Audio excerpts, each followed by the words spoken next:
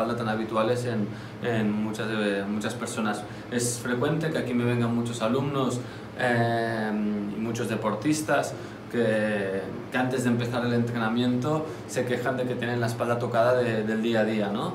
Eh, muchos de ellos algunos transportistas, otros moviendo grandes volúmenes de, de, pesos, otros que hacen vidas muy sedentarias antes de incluso venir a entrenar, que están todo el día en posiciones o muchas horas están sentados o con mucha conducción, conductores, ¿vale? Otros ciclistas ya más deportistas que han hecho muchas horas de, de, de ciclismo, eh, la propia carguera, sobre todo corredores de trail también, por las posiciones de... Bueno, eh, viene un perfil de, de personas donde es habitual ¿vale? encontrarnos el que tengan bastantes dolores de espalda. Solo decir ¿vale? que es muy frecuente que esos dolores de espalda, muy muy frecuente, más de lo que creemos, se venga sobre todo por, por ser muy débiles de, de, de, la musculatura ¿vale? importante de la zona de la espalda, ¿vale? la musculatura extensora y la musculatura que, diferente, que, que mueve la espalda ¿vale? en los planos más posteriores.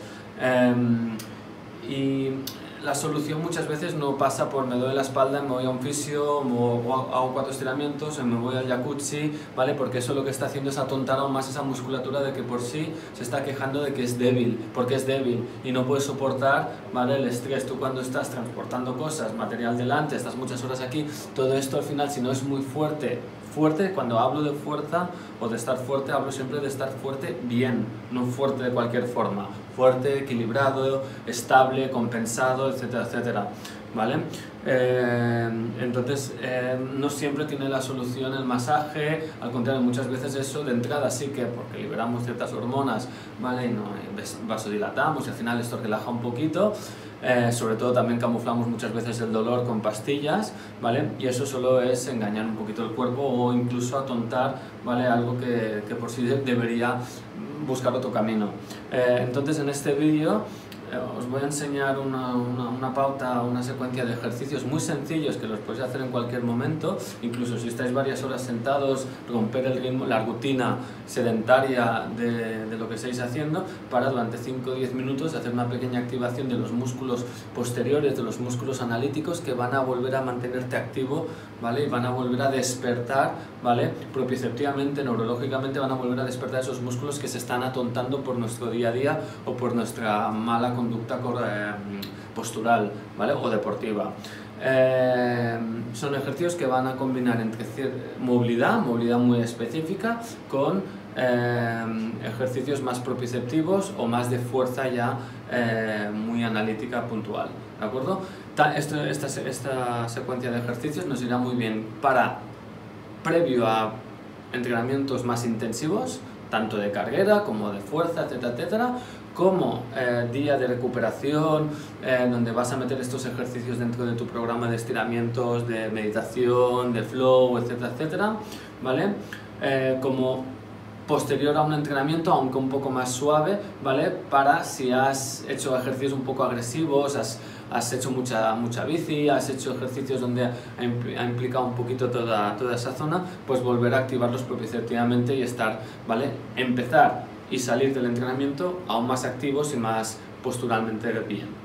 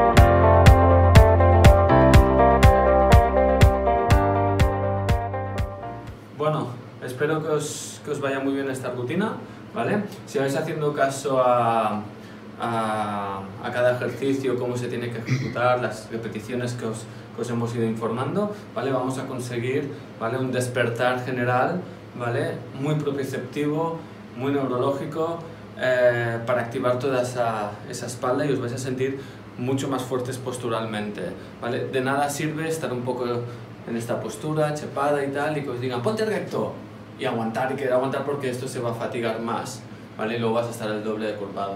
Hay que poquito a poquito, día a día, eh, tanto como puedas, ir despertando, ir activando, ir conectando mente con esos músculos para decirles que están aquí, que están activos, que tienen que cumplir su función, ¿vale?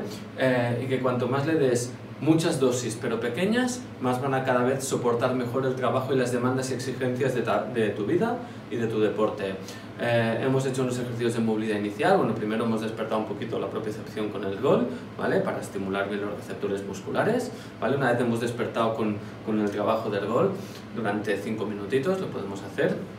Eh, hemos hecho unos movimientos muy básicos, en planos básicos, en planos un poquito menos habituales, como las rotaciones o los, o, los, o, las inclinaciones. Luego ya hemos ido a activar ciertos músculos muy específicos donde siempre jugaremos con pequeñas isometrías, es decir, eh, contracciones mantenidas durante un tiempo, 6-8 segundos, ¿vale? De músculos muy importantes que acostumbran a estar un poquito débiles, que se tienden a, que si no los vas trabajando bien se tienden a atrofiar durante, en el paso de los años, ¿vale?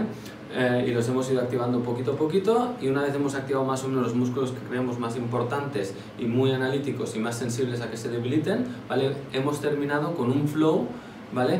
donde ya hay más exigencia de movimiento y de fluidez en ese movimiento pero que antes de hacerlo debes despertar bien como hemos hecho así que es mejor primero activar como lo hemos hecho, ir músculo a músculo y después hacer un flow, ¿vale? Como el que hemos hecho donde ese flow, vaya, ese flow, llámale flow, llámale movimiento eh, fluido del cuerpo, eh, donde hemos implicado grandes movimientos de rotación y de columna para poner ya pues mm, todas esas ganancias de, de, movilidad y de estabilidad en contexto, ¿vale? Hemos hecho un lado del flow, lo podemos hacer evidentemente el otro lado, y un flow lo podemos hacer eh, un lado, luego el otro lado, a un ritmo muy tranquilo, ¿vale? Porque estamos acabando de dar fluidez al movimiento durante 7, por ejemplo, 7, 8, 9 minutos máximo.